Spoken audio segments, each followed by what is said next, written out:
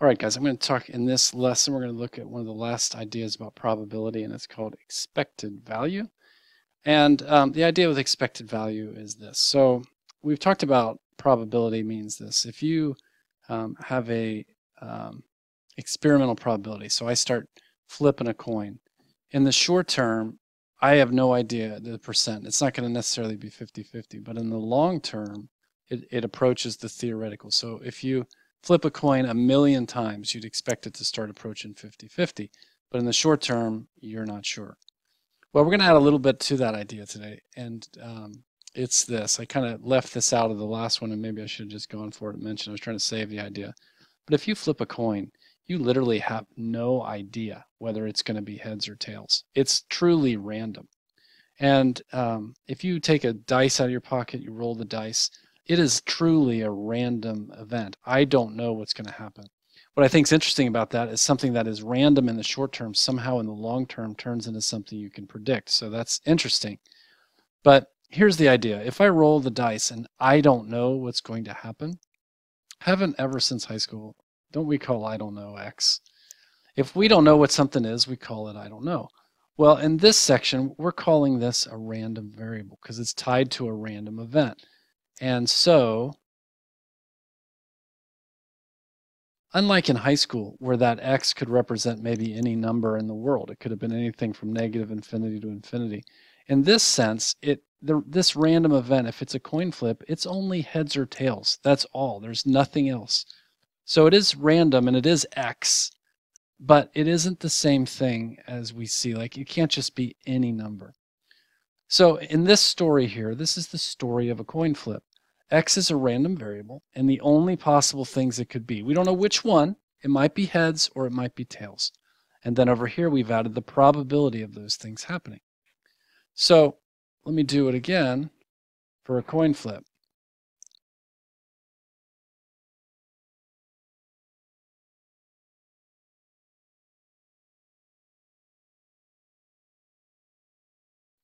Okay, and if you see what I've done here, this is a random variable. This in math language is the story of a dice roll.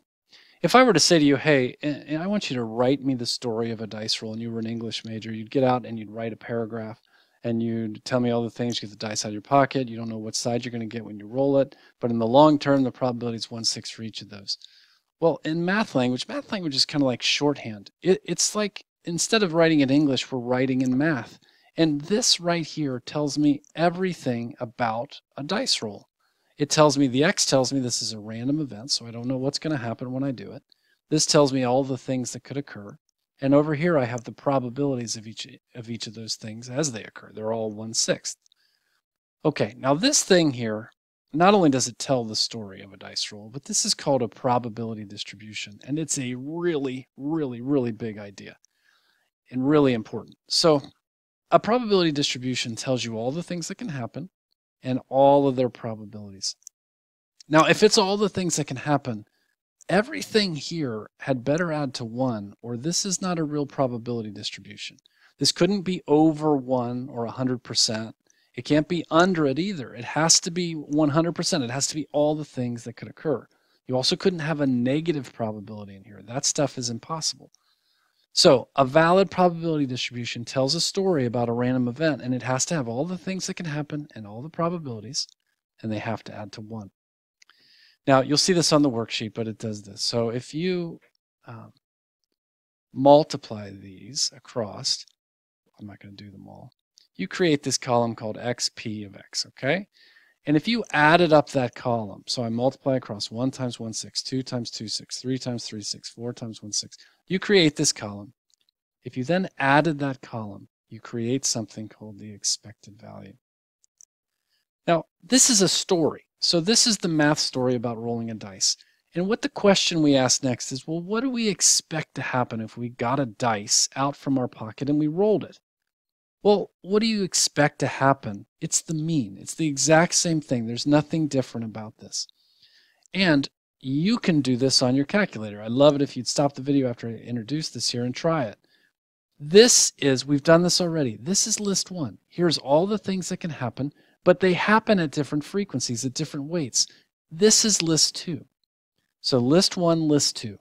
So put these in your calculator, try this, and remember when you do it, if you have an older calculator, you're going to put in one variable stats, L1, comma L2. If you have the newer one that has a table, your table is going to come up and you're going to say, hey, look at list one, and you're going to look at the frequency from list two. So if you care, pause the video and try that. I'm going to tell you what you're going to get here in just a second.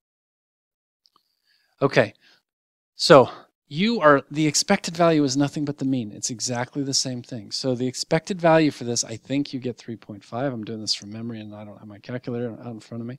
And the standard deviation is 1.7. So what does this mean? It means that when you play this game in the long run, or you say on average, I can expect to get 3.5. So why am I saying in the long run or on average? Because this is probability. When I roll it one time, I'm not sure I'm going to get 3.5, or if I do it a few times. It's if I did this many, many, many, many times, I can expect to get 3.5 as my average. This is a theoretical probability. Okay, so that, and the other thing here, that doesn't seem to make any sense, right? This is called a discrete probability distribution. The only choices are numbers I could count up we talked about this at the beginning of the course. There's discrete situations and continuous.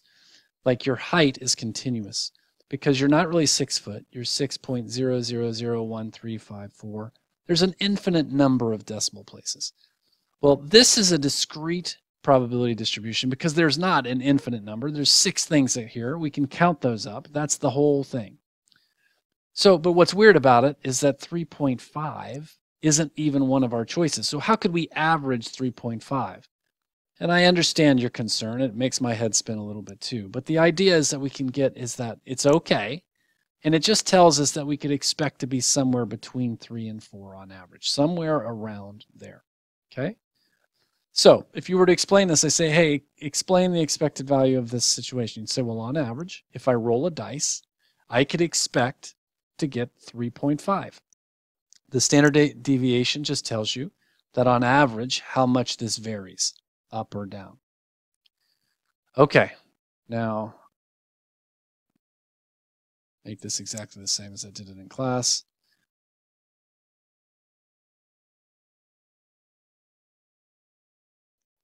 Now this is a loaded dice. And I'm not going to have you do it. You could if you want to pause it, give it a try. This dice is loaded. And if you did this, it's a probability distribution. It's valid because it adds up to one and it's discrete because I don't, don't have an infinite number of choices. I just have these six. If you put this in your calculator, here's what you're going to get. Now, 4.5, what happened? Well, what you could expect if you rolled this dice over and over and over again is to get something around here. Now, why did the two dice change? It was here and now it's here. Do you see what happened? Because the dice is weighted, we have been pulled towards that side that we can expect to happen more often. So, on average, if I rolled this weighted dice, I could expect to get 4.5. Okay. Um, am I leaving anything out here? Uh, yeah, I got one more thing to show you. All right, so there you're going to see another kind of situation as well where it's like what happens in a casino. If you go into a casino, the casino operators have found the expected value for every single game in the casino. They know every single game. And what they know is that on average, in the long run, the game should be go against you and it should go for them every single game, or that game is not going to be in the casino. And so take it like this. Suppose it costs you $20. This will make this a raffle. It cost you $20 to enter a raffle. Okay?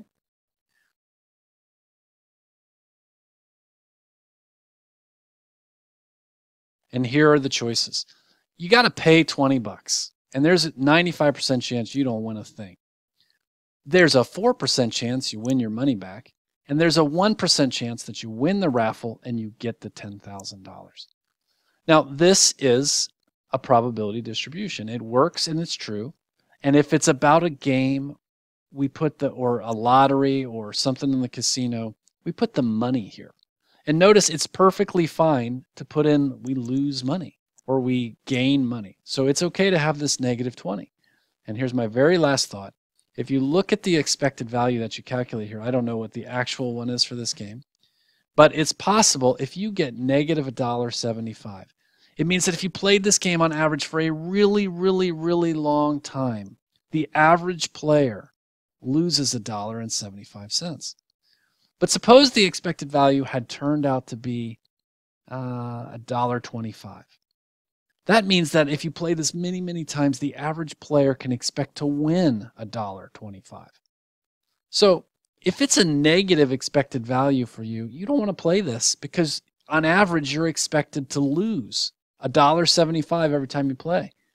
If it's in your favor, well, this would be a game you should play because on average, you can expect to win money. Now, that's everything you need to get through that activity. Um, if you need some help, just ask.